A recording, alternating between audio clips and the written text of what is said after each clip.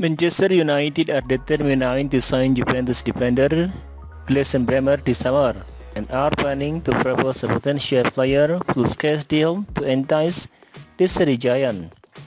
Italian news outlet La Gazzetta dello Sport claim the Red Devil are prepared to use outcast Mason Greenwood as a makeweight in their bid to score the Brazilian centre-back service. Mason Has struggled of a lengthy spell away from football, reinventing himself in the Spanish top flight and emerging as a key player in the Getafe squad. The controversial United Academy graduate has been pivotal to Getafe push into the top half of the La Liga table this season, defending the fight of the Spanish outfit with 8-6 goals and 5 assists in 24 league games. The 22-year-old son averaged a pass per match and has created 5 big chances for his team at this season. However, despite his re-emergence in Spain, Greenwood future at Old Trafford remained in the water.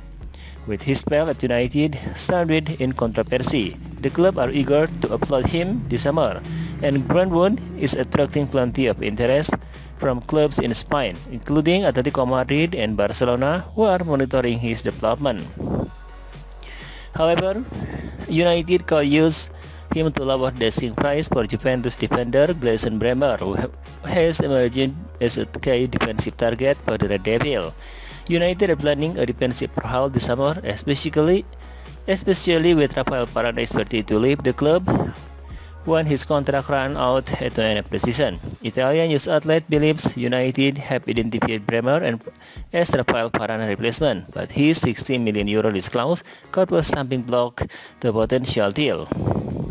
It remains to be seen if Juventus are open to the prospect of a player plus cash deal, but already are reluctant to let Bremer leave the club unless his release clause is activated.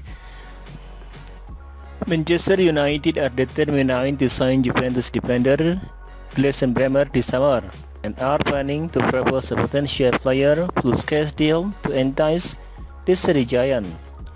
Italian news outlet Gazzetta dello Sport claim the Red Devil are